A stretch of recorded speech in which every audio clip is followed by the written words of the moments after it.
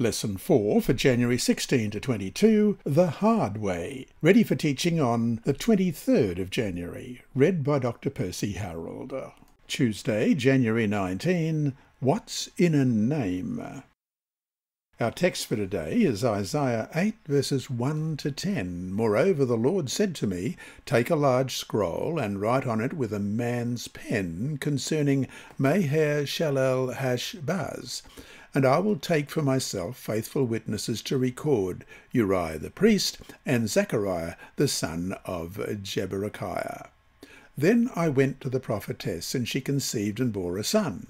Then the Lord said to me, Call his name Maher Shalal Hashbaz, for before the child shall have knowledge to cry, My father and my mother, the riches of Damascus and the spoil of Samaria will be taken away before the king of Assyria. The Lord also spoke to me again, saying, Inasmuch as these people refuse the waters of Shiloah that flow softly, and rejoice in Rezin and in Remaliah's son, now therefore, behold, the Lord brings up over them the waters of the river, strong and mighty, the king of Assyria and all his glory. He will go up over all his channels and go over all his banks.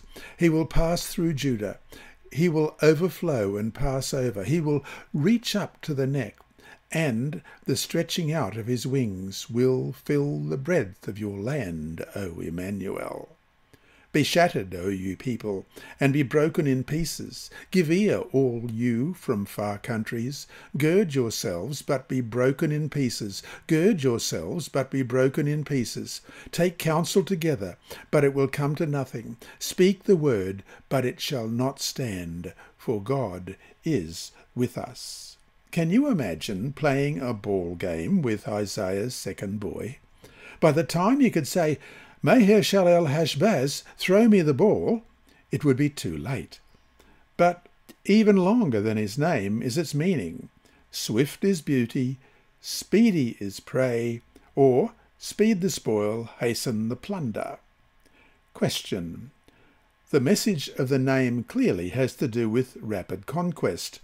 But who conquers whom? Verse 4 tells us, for before the child shall have knowledge to cry, My father and my mother, the riches of Damascus and the spoil of Samaria will be taken away before the king of Assyria. Isaiah 8 1 to 10 reinforces the message of chapter 7. Before a child could reach a certain stage, spoils of war from the capitals of Syria and northern Israel would be taken by Assyria. Furthermore, because Judah had refused God's message of assurance, represented by the gently flowing waters of the Shiloah stream in Jerusalem, it would be overwhelmed by the mighty power of Assyria, represented by flooding from the great Euphrates River. Because Ahaz turned to Assyria, the names of Isaiah's sons referred to Judah as well as to northern Israel. Swift is beauty, speedy is prey but a remnant shall return. Why was there still hope? Because although Assyria would fill Emmanuel's land, as we read in verse 8, they still had the promise that God is with us in verse 10. Indeed, what we see here is a theme that permeates the entire book of Isaiah, which is Though there would be judgments on God's enemies in Judah and other nations, delivered in the form of military disasters, suffering, and exile, the Lord would be with the faithful survivors of his people and restore them to their land. Question.